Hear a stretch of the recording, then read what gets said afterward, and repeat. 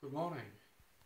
Right, this is a video to let you know about the recording software that I use because I'm getting loads of questions about what I use.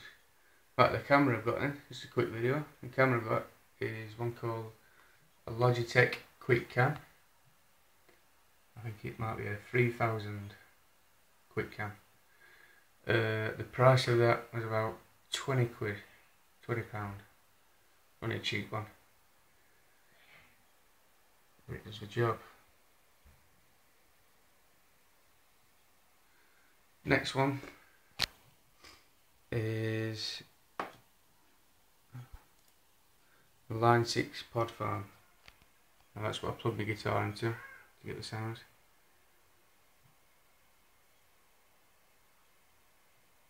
There's about, well, there's a couple hundred settings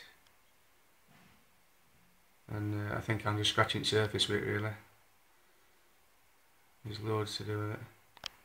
And that's the screen what you use. And that's the box UX2 line 6. Uh, they cost about new. They cost about 150 quid. I got mine second hand from eBay for 100 quid. And then what I do to record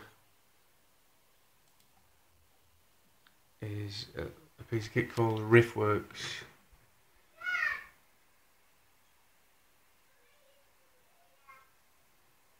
And uh, I got that software free with the UX2, so I'm not sure if to buy it separately how much it'd be.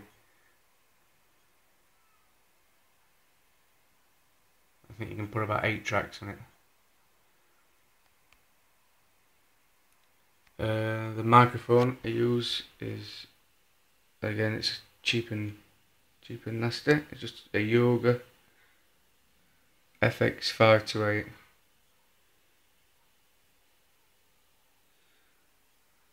and that's the old guitar Takamine Tan 76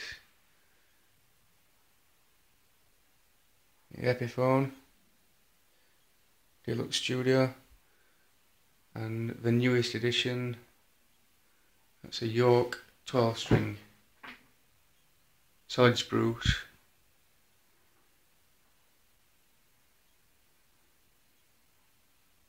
surprisingly cheap but it sounds spot on.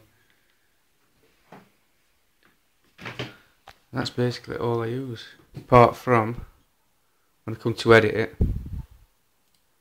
I use Windows Movie Maker 2.6 which should be free depending on which uh, model vistas you've got. I think it's free to download anyway. So yeah, that's all I use to record my songs. Bye bye.